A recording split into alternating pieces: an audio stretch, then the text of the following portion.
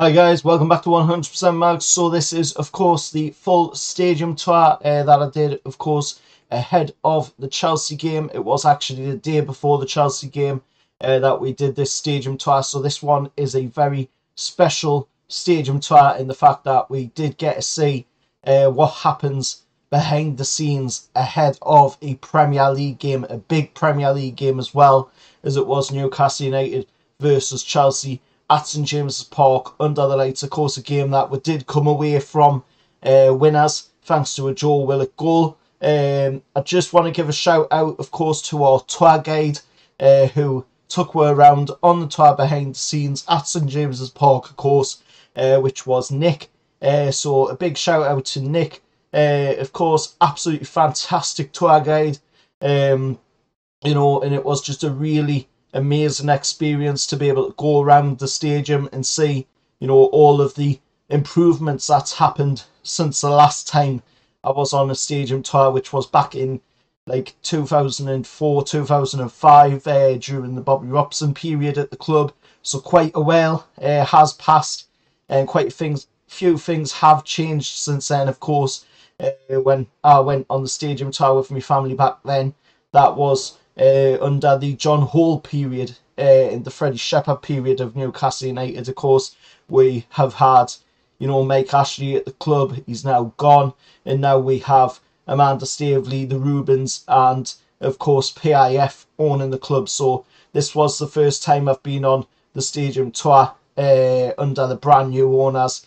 And I've got to say, if you haven't been on it yet, I suggest you do. Absolutely fantastic uh, tour, absolutely fantastic experience uh, for die-hard Newcastle United fans or just, you know, fans of other clubs who want to have a taste, you know, of the history of Newcastle United, the history of a very historic Premier League club. But anyway, I won't bore you anymore. Here is the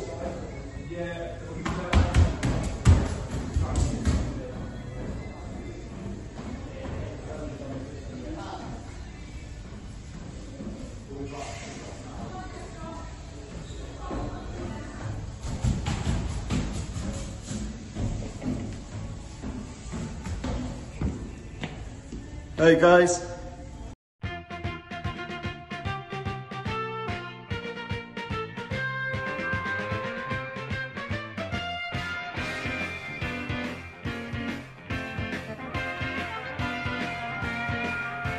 I went to Race, this was on the 9th of June 1862 on a summer's afternoon I jumped the bus at Bamborough and she was heavy laden Away we went along Colwood Street, that's on the way to Blaydon Oh, me lads, you should have seen them going Passing the folks along the road just as they were standing Lots of lads and lasses there, with smiling faces Ganning along the Scotswood Road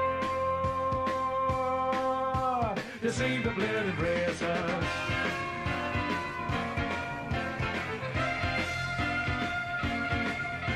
We flew past Armstrong's factory and up to the Robin Adair. Just getting under the railway bridge, the bus wheel flew up there. The lasses lost their crinolines and the veils that hide their faces. I've got two black eyes and a broken nose and getting the Blaydon races. Oh, me lads, you should have seen them getting. Passing the folks along the road just as they were standing. Lots of lads and lasses there, with smiling faces. Getting along the Scotland road to see the Blaydon races.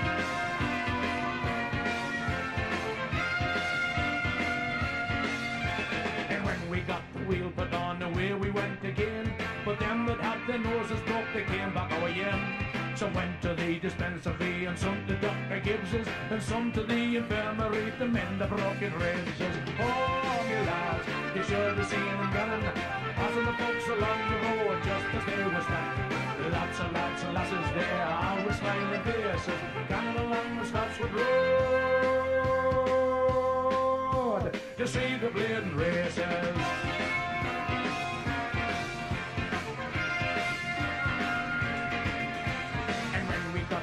Paradise, there was funny games begun. There was four and twenty on the bunch and how they danced and sung. They called on me to sing a song and I sang on Paddy Fagan. I danced the jig and I swung me twig the day I went to Blade. And oh, me lads, you should have seen them cannon. Passing the folks along the road just as they were standing. Lots of lads and lasses there, all the smiling faces, cannon along the Scotswood Road to see the blade races.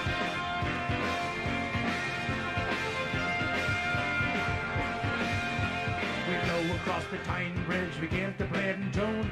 The barman he was calling them, they called him Jackie Brown.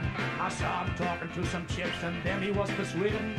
They can see Jody really short, the mechanics all at Blaydon. Oh, me lads, you should have seen them gannon. Passing the folks along the road just as they were standing. Lots of lads and lasses there, always smiling faces, gannon along Scotswood Road to see the blue races.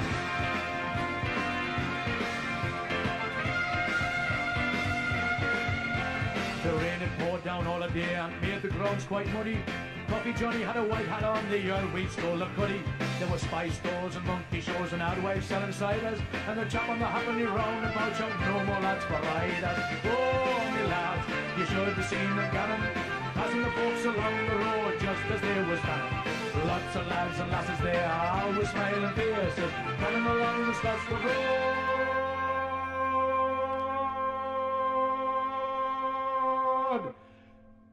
to see the bleeding races. Right, this is the players' entrance, but only the way players come in here. Our home players is in the uh, exit tunnel just up to the right, and that's where the home players come in. So when I mentioned later on, you know exactly what I mean. So if any the kids ever want autographs, don't come here, go to the top and exit especially if you meet Max, you might get a watch or something as well. half before the game, they'll walk up here. Usually there's about three or four hundred mad Geordies shouting and screaming at them, shouting abuse at them, and then they come in here. This is where all our great players of the past, this is where we intimidate them with these players. we'll start over here, we've got Supermac, the oldest 21 year old I've ever seen in my life. Uh, that was him scoring his hat trick for Liverpool. Up there we've got Newcastle beating Sunderland with that area free kick back in the day. 1997, what a day that was. Barcelona, hat-trick hero Tino. That night, I had tickets for Oasis and I had tickets for the Barcelona game. Lucky enough, I came to St James's Park and that was rocking more than the arena, I promise you. The place was absolutely buzzing that night. What a night. 1996, we've got Les Ferdinand scoring one of five against Manchester United. One of them lads over there. yeah. We've got Mr. Batty with him. Unfortunately for the ladies, Mr. Ginola has got his face the other way. 1951, we've got Joe Harvey lifting one of the FA Cups. 1993, that was Andy Cole making his debut with Mr. Uh, Mr. David Kelly on his shoulders, a very underrated player, Mr. Kelly. Uh, here we've got 1969, that was the last trophy won, it was a European trophy. 1969, we've got Bob Moncur Clark. Last but not least, we've got Mr. Shearer 2006 at the Stadium of Light scoring a goal. We've also got these two busts here. One of Bobby Robson. What do you say about Bobby Robson? Uh, legend. He's an absolute legend. Managed in Spain, Portugal, Holland, uh, more importantly, England and Newcastle. This, this bus was unveiled in 1975. We were playing Man United at home, yeah, before he died. Uh, Alex Ferguson Cape Town unveiled this bust. Good friends with Bobby on and off the field. Local hero, local lad. His name's still going now with the Bobby Robson Foundation, still making millions for charity. I don't think anyone's got a bad word to say about Bobby. The other local hero straight across is uh, Jackie Milburn, stands near that room. It's an indicator of how well thought he was, he was here. Uh, he's also got three cup winning medals there, 51, 52 and 55. In the 55 final, he scored what was at the time the quickest ever FA Cup goal. there, has been beaten since. He's also got a silver medal around his neck to commemorate the 1950 World Cup that he participated in in Brazil. Jackie was a local lad, as I say, from Ashington, cousins of the late Jackie Charlton and Bobby Charlton. Also, back in the day, Jackie used to be a miner before he was a footballer. He was getting £12 a week. Remember, this lad played for England and was a Newcastle uh, legend. He was getting £12 a week. And in the close season, he was getting £6 a week. He had to go back down the mines because he couldn't afford to live in the close season. Look at them now. Uh, right, we'll next. I've just stop with you for a couple of minutes. Busy old place when there's match day. Obviously, you've got your quick interview board there. That's when they come out, have a quick interview there. There's a flash interview room there, tiny little box room it is. But the main media room's down there for after after the match conference, uh, signing new players, etc. That's all there. This all has changed about recently. Uh, that used to be the way changing room. That was the home changing room. But in 2006, it all changed. Last game we had in there was uh, Shearer's testimonial back in 2006. Now the home change room is there. That is now the away changing room, and that is the match officials. And it all come with this room here. Dope control. Dope control came, they can come, they can take two players anytime they like, either here or the training grounds, and they have to give a sample before they come, get out. Well, not give, but they've got to give a sample. Uh, the worst case scenario I heard is Phil Jagielka, playing for Liverpool, uh, Everton, sorry. He was in there four hours. Didn't get away till nine o'clock that night. Uh, even Martinez come down and said, Phil, we've got to go. It was about half past six. We're going. We put him in a taxi at about half past nine with a pizza and sent him back to Liverpool. But that's how long ago it was. Uh, four and a half hours is the worst. But we have not had a positive result here or at the training grounds from home or away players, thankfully. So that's a good side of things. I'm going to take you in the weight change room. Won't get on about weight change rooms forever, about what's happened here, all the little bits and pieces. I'll tell you a few stories, but we really could go on forever. So we'll, we'll pop in here, take a seat, and I'll give you a few tales. The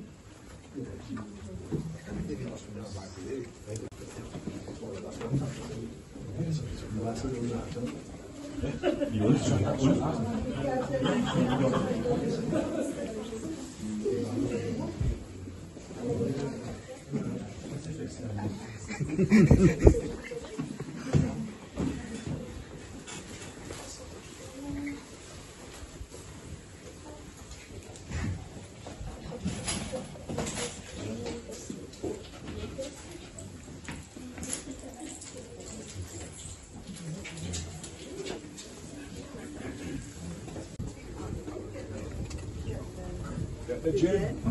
There's a conditioner on here. If you have a sit down, I'll give you just a couple of minutes crack, then you can take some photos. stretching their boots and Steve showing us the steamers and all I'm trying to find a seat where she can sit. Oh, the lads are making you them alright. trivia.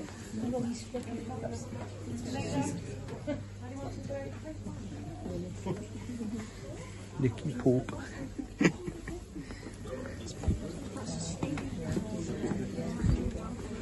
There's a, there's a name on Yeah.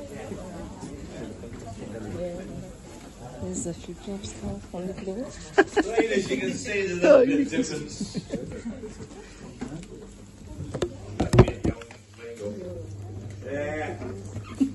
Basically, strips on what the players will use. These are just with the track say, but they're all where the players sit. If they're in the squad that day, this is where they'll be sitting. What usually happen is uh, the players will come in about three, three and a half hours before, or something. Players usually come in about three, three and a half hours before.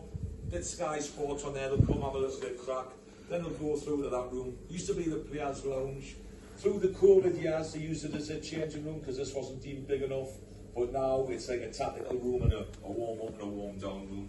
So that's what they're doing there. So the squad, you take the whole squad through there. Then Eddie will announce the match day squad. The rest of the players will go up where I'm going to take you through later on. Tell you where the uh, players' boxes where the executive boxes are. So the rest of the match day squad will come in here. There'll as you can see, the kit man is just weird. He's got that slide out. So he started.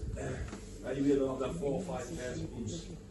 They'll have their sliders. They'll have their two tops. They'll have their training gear. Any other requirements the kit man have it out whether we now have it. Uh, it does look good when it's all set out. They've got their two strips. They do what they want with them two strips, one by either half. Some players will throw them into the crowd. Uh, Callum Wilson to come and get his sign and he usually gives it to charity. But whatever some of them players just throw them in the wash. Whatever they want to do at the time, that's what they'll do. Uh, the only time they'll get destroyed is if they've got blood on them, off their rib on it and like that. So they'll all come in here, we'll get the final details, Eddie will go through individually with these boards, he goes through he'll go through all the defence, he goes through the midfielder. The rep is very, very thorough, Eddie. Uh, really good. The replicants were about six towels each a game. The there's towels everywhere after the game. It's a proper mess. anyway, I need to mention to them, please don't walk in the showers there, because if you do, you'll get soaked, because the showers come on automatically. you walk in there, what, poor lads can't use their, their hands and that, so they've got magic eyes on. If you want a bit hotter, you give it that side. If you want a bit cooler, you give it that side.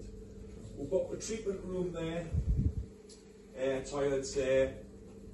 The ice baths, they're set at seven degrees. It's like lying in the North Sea in the middle of winter. Uh, Sam Allardyce and Shearer used to insist on people going in them. I think any house a bit more relaxed thing. I don't think there's many of them going in them now. But there's also massage beds there because there's, there's a few of the players that get massage before and after the games. And as I say, you've got the showers there. Uh, above, you've got all the lockers. The, this side, the lockers a wall got safes in because that's where Maxi them sit or his Rolexes now. that side, if you notice how the defenders are on that side, I don't think they've got safes in theirs. They must be all the porters. so they're all up above. As the, the towels at the back, uh, tellies, that telly is only comes out the weekends, so they can plug their laptop into that telly, so that'll get, if they need to analyse anything through the game, they'll do it on that telly there. That one's just for Sky Sports Extra. Got one little boom box here. Used to be a lot of arguments of the players what music to listen to, etc. etc. Now it's every player gets three songs, puts them in there, comes on random, so there's no more arguments. That's Eddie said that. Eddie's uh, little um, coffee machine as well. There's usually a little bit almond milk in there. But today we've just got nutrition drinks, we've got energy drinks, we've got isotonic drinks. On top of here, in here we've got the protein, we've got hydro drinks. On top of here will be all the flapjacks, the energy bars, all kinds like that. Fruit, plenty of bananas, the, they like bananas, chocolate cake, all that will be on top of there. That's for them to eat. I think that's a good that, yeah. Obviously we've got a countdown clock, what I was saying before. That's a that's a big hindrance if that kit man forgets to do it. The manager will be looking at his watch all the time. While the speakers up there for the six minute buzzer, That'll tell you you need to be in the, the tunnel within a minute because you need to be in there five minutes before. As I say, especially on television, there will be big fines if they're not there. Has anybody got any questions? I'll let you take some photos and then we'll go down the media room. So I'll give you a couple of minutes, take some photos, and then we'll go down the media But I just ask if you had Bruno's or Maxis, which are usually the most popular ones, they take a photo and move on so someone else can get a piece. Thank you very much.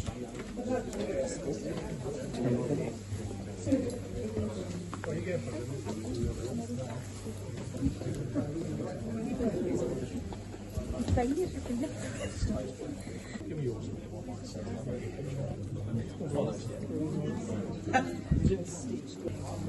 Wilson, I think he's a good board as well. Right, we're ready. Can we move down there? Media room, please. One.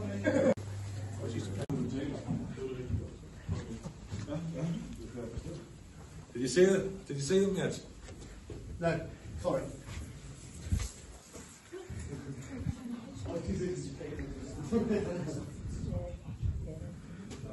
That's where Eddie sits.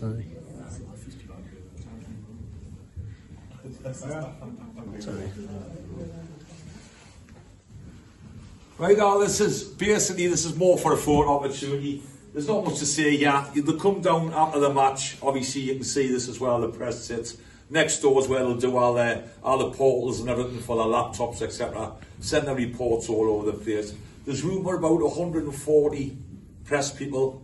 You've got to give your name at the desk. If your name's not on the thing, you don't get in. There'll be a press officer in the corner. He'll vet the questions. Uh, always the away manager comes in first, gives his press conference because they need to be away earlier. So they would do the same for us. So that if, if there's any uh, new signings, this is probably where it'll get done.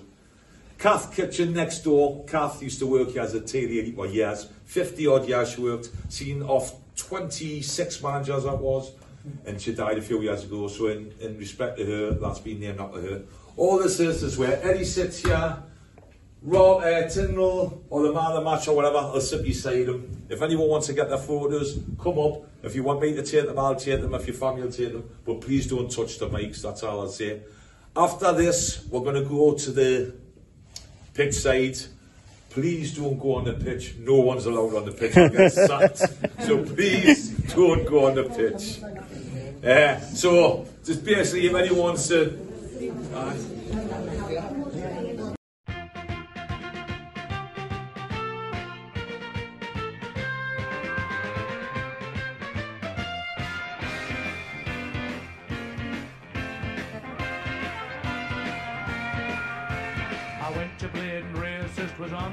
9th of June, 1862 on a summer's afternoon. I jumped the bus at Bamborough, and she was heavy laden. Away we went along Colwood Street, that's on the way to Blaydon. Oh, me lads, you should have seen them gammon, passing the folks along the road just as they were standing. Lots of lads and lasses there, I was smiling faces, ganning along the Scotswood Road to see the Blaydon racers.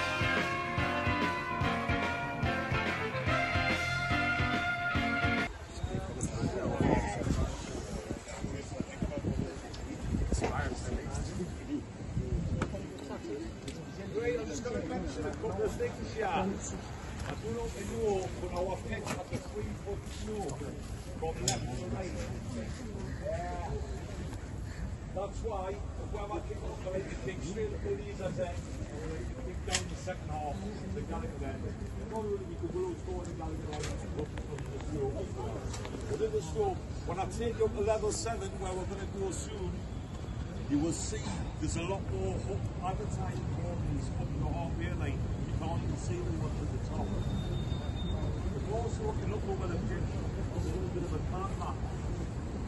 So that's just one way to be Anyway, to the left hand side, we have the four dugouts, which has 19 seats. To the right hand side, we have the away one, which has an up to 30. The left hand seats are all done there. Where it's from. Nah, he did 14 the way I didn't put it.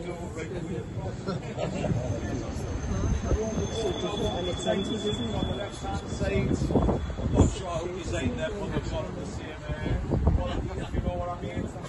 Uh, what you would have, usually you would have the manager, coach, visuals, doctors, all the front. Once you go, basically, uh, set up, I'm always in the technical area. You've got the players at the back, same thing applies on the other side. Uh, you have them players, you have the coach and the doctors and the visuals at the front, and uh, substitutes at the back. Uh, I'll tell you about the light into the pictures then when we get up the top you right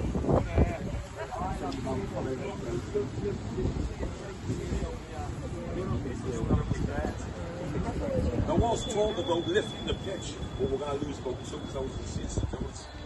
So not illegal. We've never won out for 53 years with it, so we're not getting any advantage of it. I think the, the, the worst uh, the worst case scenario is four foot. I think that you're allowed a four foot drop. That's it. So over a metre. I'll give you a couple minutes to take some pictures. We'll cross the road and we'll go to level seven. We'll have loads of views from there. I'll give you a little bit of history about the goat when we get up there as well. So the Yeah. The ball camera usually pops up straight across there. That's where the ball comes up. This is where the port the fish is. Who's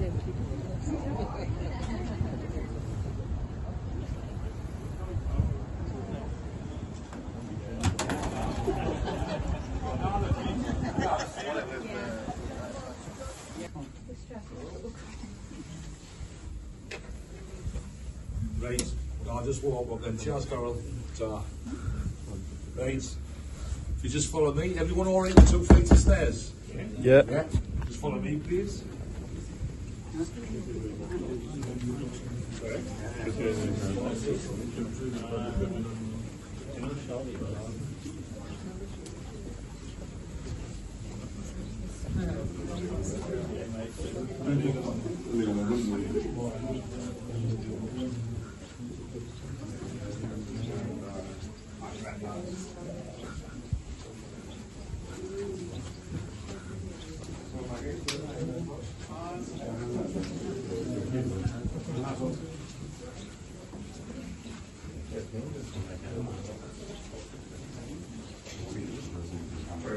If you want to go for that, go. I'll see if I can find it. If not, I, mean, oh, I was thinking I'm just gonna go see what Shears has it on. and they have the shoes. They have a smart TV.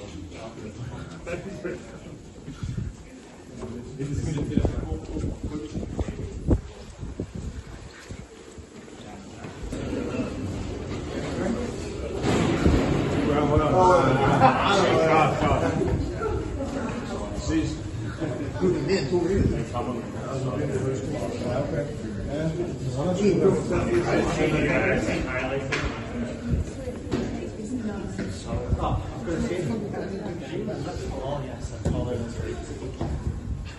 Up on the the lift.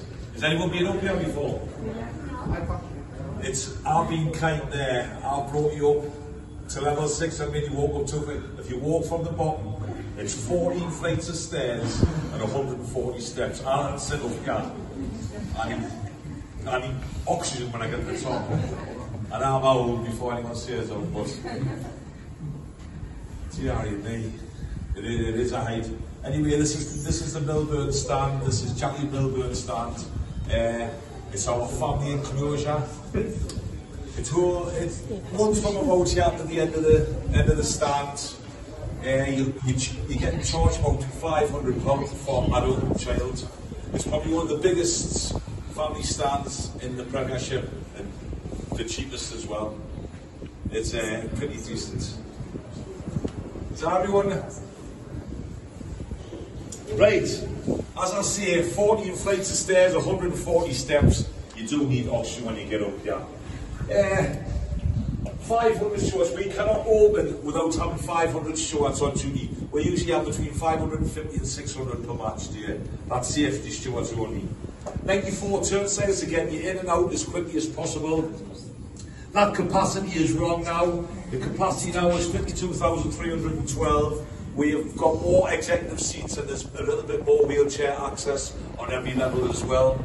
Uh, at the time of building, this was the biggest cantilever roof in the country, uh, in Europe even. 68 metres. There now there is two of that bigger in the world. They've got the Olympic Stadium, West Ham Stadium in London, and there's also a South Korean cinema that has a bigger cantilever roof.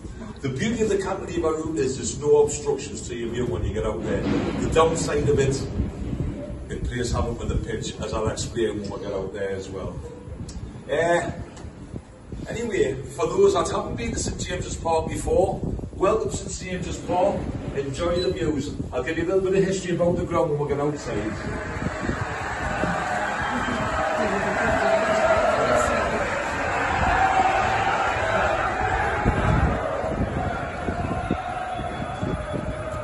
I know. It's a blizzard. That's where we celebrate it. It's fantastic. It's a big land, isn't it?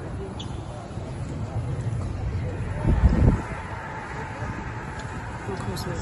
It's come. Go away now. I'll give you a little bit of history about the ground, and I'll give you five minutes to take some photos, have a look at the views, etc. Yeah, right, where do we start? As I said, we're in the, G- uh, Jack Milburn stand, family enclosure. Straight ahead of us is the East Stand, this is our smallest stand. That was built in 72, opened in 73. The reason is the smallest stand is we cannot build up or back because behind that stand is Leazes Terrace, which are listed buildings. So that was the oldest stand. Goal of the stadium from left, which is the Leazes stand, right we've got the Gallowgate stand. The goal of the stadium from there right down to the quantity stand was redeveloped in 96. We were going to go into Leazes Park, but we could not get planning permission. They stopped the planning permission, they wouldn't let them go into Leazes Park. Then they decided to build level 7, which was finished in the year 2000. We did get planning permission to go across the Gallowgate's, but because we're at the metro station, except underneath, the engineering costs were going to be way too high for the present owner. So we decided to get it for the present owner. No, the previous owner, I should have said, not the present owner. I got, me, I got my words wrong there. That- you said that, not me. right now. Yes, so I have got published that, but let's remember Ashley's also sold the ground behind it now, so I don't know where we stand to get that built. I don't know if it's still feasible or what, but they're looking, they are looking into it. I think some of them are. Anyway, to the left we have the Leazes stand level 7, that's where our away support goes. With our capacity being 52,000 odd, we have to give the away supporters 3,200, which equates to about six blocks of seats. Uh, it was a cup game through the week, it was a midweek game as well, so Crystal Palace only brought 500 up, which equated to about one block, so that's what that black tower polling is, that's where the section the away support are off. If you look just underneath Eddie Howe's Black White Army, there's three glass windows. The one on the very left for the grey seats, that is our sensory room. And what our sensory room rooms for is uh, people with hidden disabilities, maybe don't like crowds, maybe don't like noise, a little bit autistic or something like that. They can go in there with a carer or with a family, home and away fans, uh, and in the, the right environment. Very good reports coming back about that to the to the to the point where you're only allowed to go in three times a year. It's that popular. So excellent. Uh, the room beside it is either BT or Sky room, so whoever's presenting the game at that day, they'll do that room up to their specifications. And the room beside that is the control room. Uh, you've got your fire, your ambulance, your police, CCTV. We have 132 CCTV cameras all over, so they're watching you. As soon as you come in here, we want you safe. They'll be watching you, making sure you're safe. On that note, so suppose you're sitting there, you're there with your family, uh, someone beside is being obnoxious or maybe he's drunk or being homophobic, racist or what, whatever. Rather than you confront them, there's a number you can ring, it's in the programs, it's also in, in the toilets. Uh, you can text them and it goes to the control room. The control room will put a um, camera on him, see what he's doing. If he's still up to no good, show will come and have a word. If he persists, he'll either be kicked out the ground or chucked over the end. Probably what the steward would want to do, but I don't think it's very the PR is not good for that. If you go at that corner, if you walk through that tunnel, we have what we call our pink hotel. And our pink hotel contains five cells, police cells, from top to bottom painted pink. Because pink is supposed to be a soothing colour. so the Northumbria Police and the Northumbria University say it's a calm and soothing colour. So hopefully they'll take them in there. Hopefully he'll calm down because neither wants to lose a ticket now. Hopefully he just gets a slap on the wrist, he'll not do it again. But that's what that's for.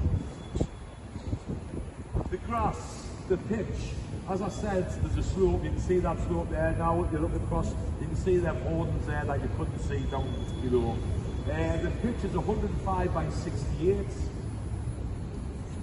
This pitch gets ripped up every year.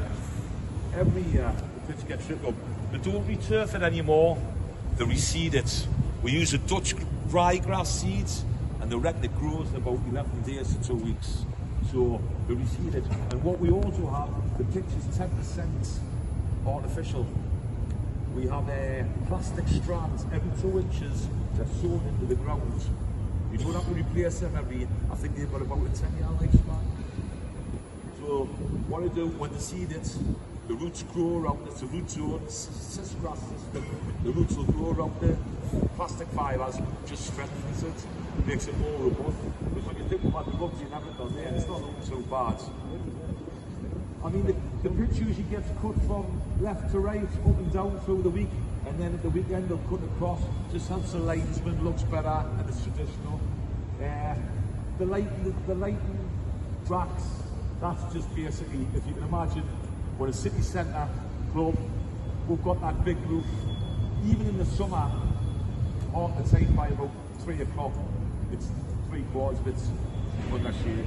So all these lighting are doing is uh, telling us, yeah, it's nice and sunny in Newcastle, please grow. Usually the light racks are everywhere, but because it's a game on tomorrow, they'll tuck them out, they're around the ground. But the pitch will be covered from October to March. The pitch will be covered with these light racks when there's no games on. And uh, they'll be put on. What's of four Just on that, in the summer, the pitch gets cut at least once a year, sometimes twice a year. In the winter, winters, two or three times a week. It'll take the, the groundsman about three and a half hours to walk seven and a half miles across that grass. Obviously, there's a team of them, so they're quicker and more efficient. But if you was to do it by yourself, that's what it would take. Has anyone got any questions? Right. Sorry?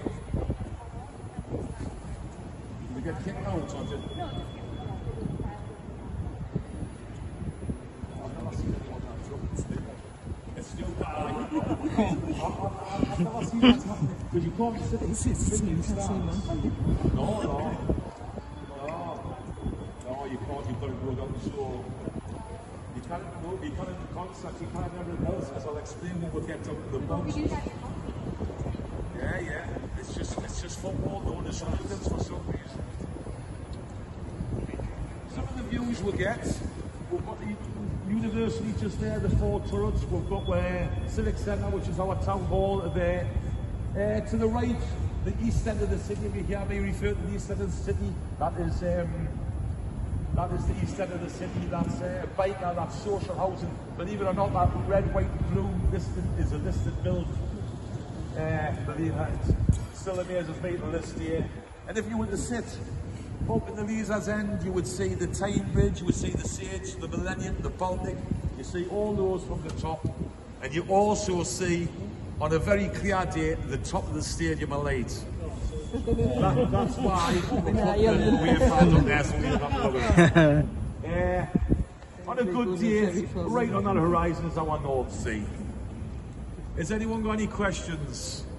Right, I'm going to give you five minutes, take some photos. If anyone wants to go right to the top and have a look at the views, but please don't go out to G and H so everyone is now all over the place so we can get away and back on uh, tour as soon as possible.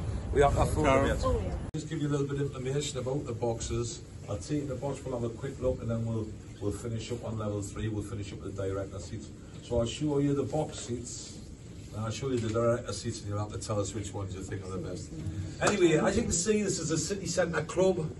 It's not just football we do anymore, it's, it's bigger than that now. It's weddings, concerts, we'll have the opening the League Cup, we'll have the Rugby League weekends, just all kind of on the city now. We've got the airport five mile up the road, train station down the road, even the ferry station's only 40 mile along the road.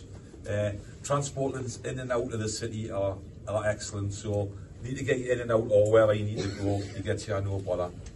We'll have 100 executive boxes, we'll have 44 on this level. They range from 30,000 plus VAT up to 90,000 plus VAT.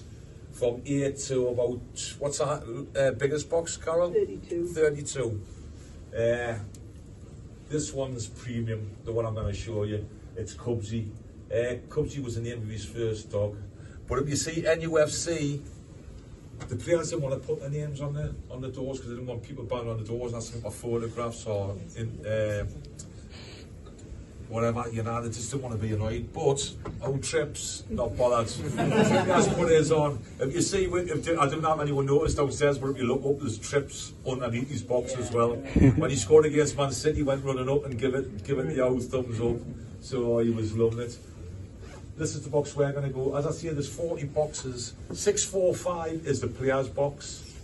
Uh, that's along on the bend as well. So if they're not on the match day squad or they're injured, that's where they'll go and sit. Uh, they'll take their families in there or whatever. Talking about boxes, we're saying, well, can move. That's a lot of money, between 30,000 and 90,000. That's not including your drinks. But if you were to go to Chelsea or Arsenal, certain boxes are a million. Certain boxes at Arsenal are 1.4 Yeah. million. I'm not saying every box, but certain boxes. So it is a lot of money. Right, what I'm going to do, I'm going to take you into the box. If we walk straight through, straight through the patio doors, but please watch the patio frame because it's got about a four inch lip on the bottom. I don't want anyone falling over. So when we go out, we'll just spread out and we'll have a look what you think of the boxes.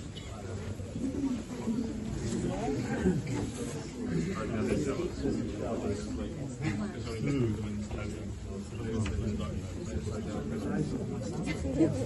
Right, you get, like, you get the cards.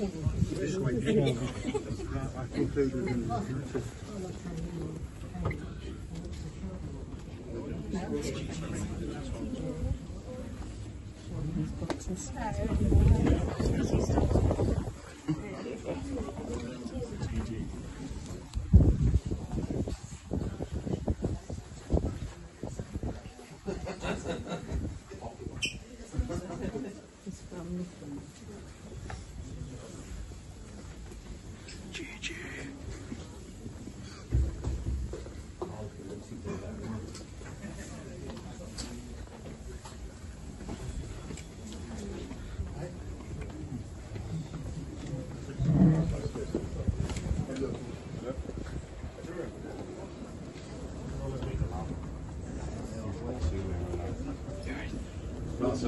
it is, like you say, I think you're in a better position, mate.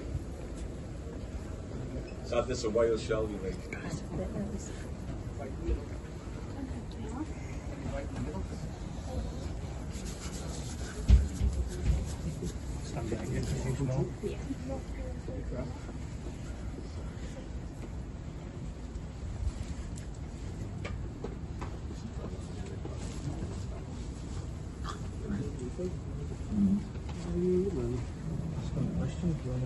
Everyone got a seat that wants a seat? Do you mind just push along that way, lads, so uh, get a seat? Excellent, thank you. Yeah, lads. I get seats, yeah? Cheers. Well, actually, it is a bit tight saying, I'm not being that, I'm not, but the young in there, it's a bit tight saying over the wall, isn't it? What you do, you get a nice little uh, six, seven inch booster seat. They'll put you on a booster seat, the front seat, and you get a nice blanket as well. But you can't take the blankets home because some of them do when they've tried a few beers, they try and take that blanket home. on on the subject of beers, does anyone know the rules in the boxes? Has anyone been on it? I only found out recently they'll put shutters down in boxes, so When you have a drink, yeah. you cannot have a drink and watch the game.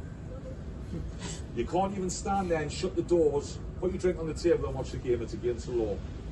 You have to shut the doors, put the blinds down. You can drink while the game's on, but you have to watch it on the television. That is the law from 1985. Still to this day, and our user, user are laughing at the, the Germans, the Dutch, the all the, the Italians are all laughing at that one, thinking that. But we are still, unfortunately, we are still classed as hooligans. till. As I say, what we were talking about before, you couple concerts. Yeah, the rugby, the rugby share all weekend. They drink all weekend, falling about all drunk. Checking on me. I've seen them. There, They're allowed to drink concerts. You look at Wimbledon, they have a little tipple. It is only, literally only football where you can't do. Is it like a like you know start clubs starting the process to try and appeal it and I don't know. I don't think they will. I'll be honest with you. I don't think they will. Not at, not not at the minute, because it still hasn't been eradicated. Well, actually, the German lads who I had on the other week saying that the ultras are all starting up again over there in Germany. He says they're getting more violence again because they're drinking. They're, they're drinking in the grounds, and he says the violence is starting again. So. Ah, exactly. So you see that caster sign down there? That's where the Newcastle players will come through. They'll walk up here, through the tunnel, up and in. Anyway, just say the boxes, it's not all about the players, it's for business as well. They'll bring the people in, they'll have a little bit of meal, a few drinks, soften them up. You're allowed to stay here an hour, hour and a half later. So hopefully a bit networking, you sign on that dotted line. That's what it's all about. You know, feed them up. So hopefully you've seen a good game move on. They're all, oh, I'll sign that. Before you know, he's saying his life away. But that's what it's all about. But just say Shelvey comes up, about six o'clock he rings, goes, yeah, can you bring me car down? Because what they do, they leave their cars out there and the lads will take them up park them somewhere else. So Shelvey ring, can I have me car to about quarter past six. Car will come down, pick them up in sterile areas down there for taxis to get in to take the people away. And uh, etc. etc. So Shelvey, he'll get his car, it'll be nice and warm for him. You drive down to Strawberry Place, then onto Barrack Road where the lights are. Well, we employ a little man that sits in the in a shack, and when Shelvey sees he's going, he'll flick them rights from red to green so Shelvey gets straight out. You won't stand and wait. But I know what you're thinking, who does he think he is? It's not because of that. It is literally health and safety. Because he's got his family in the car, people would be jumping out of the car, his family might get scared, he might be in, he might have had a bad game and someone might abuse him or he might spit off and hurt one of the fans that are trying to get in to see him. So it is, I know it sounds, oh, how do you think he is, but it is seriously just health and safety. So, as you can see in front of us, we've got all the cameras that are all set up for tomorrow. This is where the sky will be, etc. What you used to have was Kamara over there, remember when Jeff used to go, yeah, Chris, there's been a player sent on what happened in that. Jeff, I didn't see it because most of the time he's talking to the fans. And he's eating these sweets and that, they're giving him sweets and that, and that's not just here, that's everywhere he went. He spend more time talking to the fans and all else. Well, this is where Fox Sports will all set up here. Yeah. They are the director seats down there, that's what we're going to go do. Just while I'm here, I'm going to point out, can you see the cameras? It's getting a bit dark now, really. There's a camera, you look across the east stand, there's a camera right at the end of the floodlights, one between the L and the E, the W and the C, and the end of the other ones. There's four cameras. They are four of twelve that are in the ground. Does any can anyone think what they'll be for? Security. Nah, not security. No, VAR's got their own centre. It's the goal line technology. Because what they do, they like the 3D view of it. And that's what that is. Anyway, as you can see, Shelvey's got his 16 seats. That's Callum Wilson's box, 619, his is 16. The one beside us is a 10 seater. I think the smallest box is an 8, and as Carol says, the largest box is about 30 odd. So the range from different prices. We've also got them underneath, we're right the way along, but they're a, they're a few grand cheaper because you've got to, four things have got to come up and walk up these stairs the players will have the. I don't know if they're any discounts. I honestly don't know if there'll be any discounts, but the players will pay for their boxes. And, and the deck have a box. No, they used to have the box. Yeah. But I'll show you where the last time we here what we'll go down to the director seats. One last thing we've all brought. The ball in the stadium. Remember, sometimes we'll keep, keep the airway supporters in. Obviously, the box is going another hour after we all go. Level 7 gotten doing them stairs take a little bit longer. How long do you think it takes to empty the bowl of the stadium? Oh, 10 minutes, did you say? 10 minutes. 10 minutes is what it's got to be done by. Carols and Stewart, we got the, the uh, after the Crystal Palace game, after the penalties, the ground was emptied in 5.0 minutes. But by the eh, it, it was a pretty poor game now, honestly, like, even though one of us still pretty poor. Uh, but Carol's done it. She she puts a stopwatch on. I think the first game was uh, seven point odd minutes. I think the average is six and a bit minutes. But Man City was a bit, if saying that, if we had won that game, we still would be the uh, but we didn't. Uh, but the Bournemouth game was a bit flat. I think it was about five, five something minutes there. But it ranges from about five summit minutes up to eight minutes. When we used to lose back the day, it was 15 minutes. Before Aye, before and well before 90 minutes. Has anyone got any questions? Right, if you could follow me down to level three, please.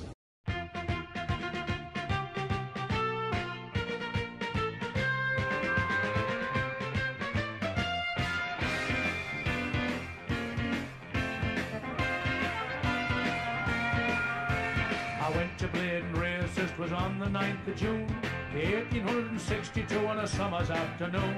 I jumped the bus at Balmbra's, and she was heavy laden. Away we went along Collingwood Street, that's on the way to Blaydon. Oh, me. Has been open since 1880. The first game played here was uh, Newcastle Rangers. They played a practice match in 80. We had the East End that formed over the East End of the city when I was telling you about the Byker wall, the other side of the city. They were formed then. They played over Stanley Street. Uh, the West End formed in 1882. This is the West End of town. They played on the town one on the North Road. They came together and we formed Newcastle United in 1892. Yes, we did play in red and white. Thankfully, it wasn't stripes, but we're seeing, soon seen that our ways. If you remember, if, you, if I tell you that the league we joined in '93 had Middlesbrough, uh, Liverpool, Arsenal, Woolwich, and Rotherham in. One of them teams playing red and white, still playing red and white to this day. But we didn't want to be follow the route, so we went with this way. And I've heard a load of stories about this, that, and the other. It wasn't magpies nest in the city, there in the stadium, or I've heard the William Cavendish, uh, the Marquess Newcastle, his troops fought in black and white. Uh, the Dominican friars walked around the city in black and white. The truth of the matter is, we went to the Northumbria FA, asked to lend some strips. Uh, they played in Shepherd's Plaid, that was a black and white tartan, and that's where the black and white strips from. Any questions on that? I'll quickly go through these badges, and then we'll go through.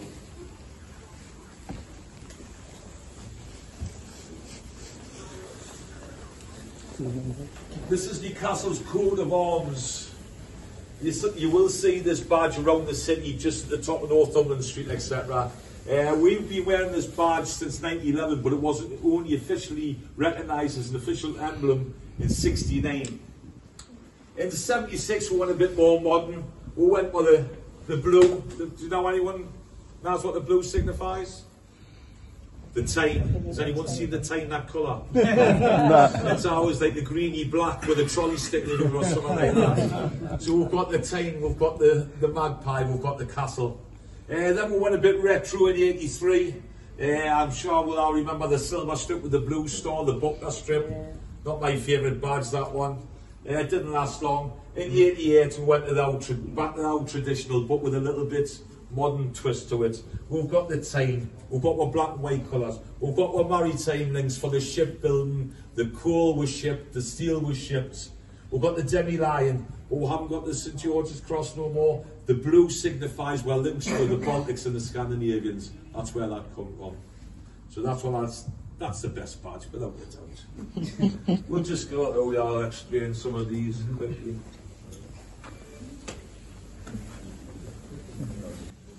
These early 1900s was definitely the best time to be a Newcastle United supporter. But times are coming good, so all the kids here have faith because she's a those are the, the chosen generation. Anyway, back in the early 1900s, these lads called the Teddy Boys all helped towards this. 05, 07, 09, we won the league.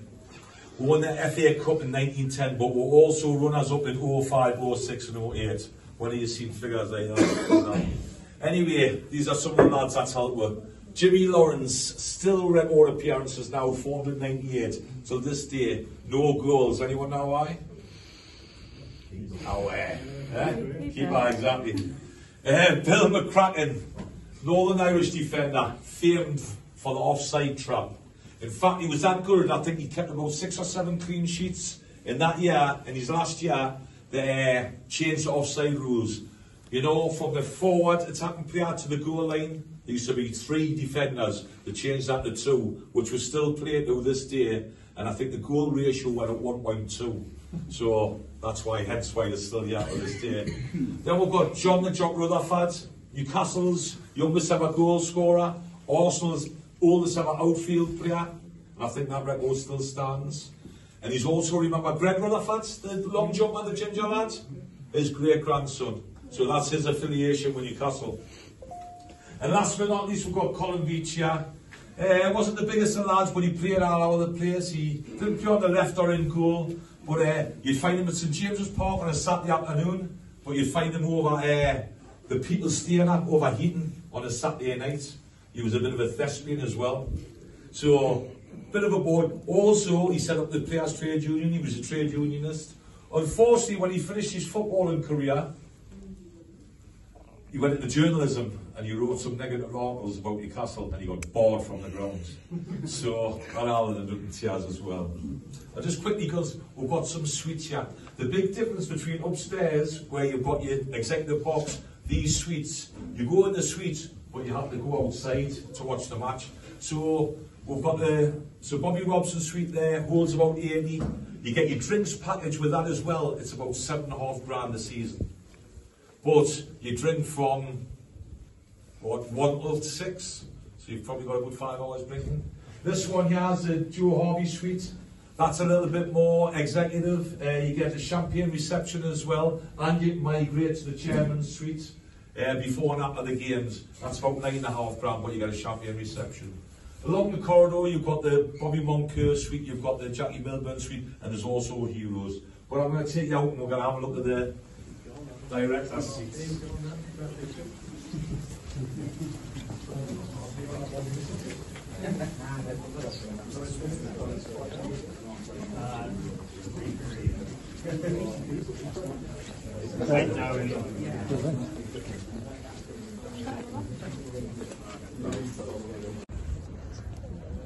right, what we've got here is these three rows of seats are all Newcastle seats. These don't go get sold on any daily, uh, gamely basis. So as I said, that usually sits there, Mehrdad will sit there.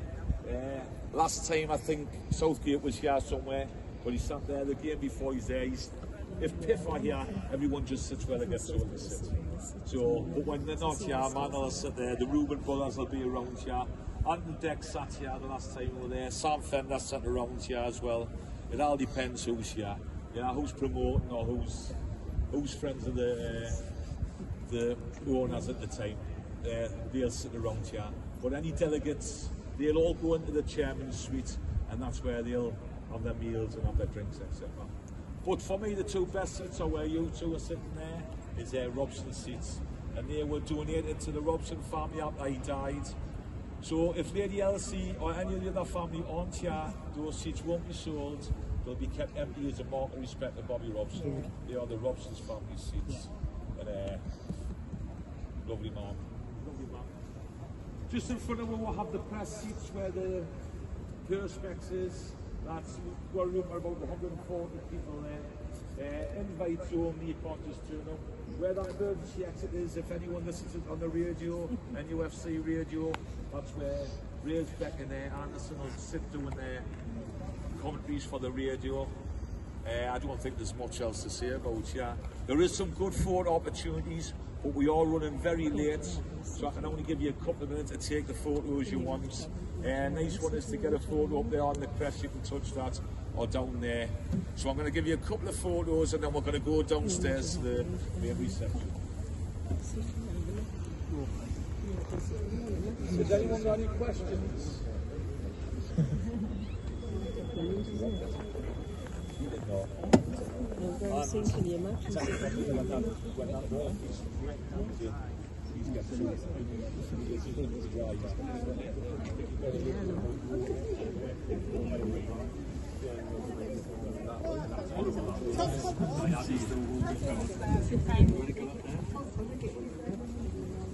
Has anyone any last minute questions? Anything at all? No last minute questions? Eh? Uh, 3 1 Newcastle. right, these lanyards, keep the a momentum. I'm not encouraging you to drink or eat, but you can guarantee you you get a little bit of discount. But if you go to the club shop, you will get 10% off. Yeah? Other than that, all that's left for me to say is, you've been a pleasure. Thank you very much. I hope it's been informative. I hope you've learned a little bit about behind, behind the scenes. And then just have a safe trip home. Thank you very much. Thank you.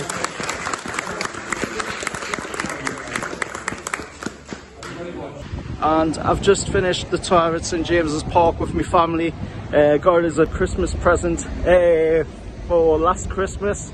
Only just managed to get on it now and I've got to say it is absolutely fantastic. Definitely go on the tour because you will definitely enjoy it. Absolutely amazing tour. Also whilst I was here as well, uh, there was also of course uh, some Saudis doing some uh, promotional work which looks like it could be on your uh, sponsor Saudi Air uh, so that would be absolutely amazing if it is. Um, but just like I say you know finished the tour and it is absolutely amazing. Plenty of footage as well of the tour for you guys to see. So till next time make sure to hit that like share and subscribe and however lads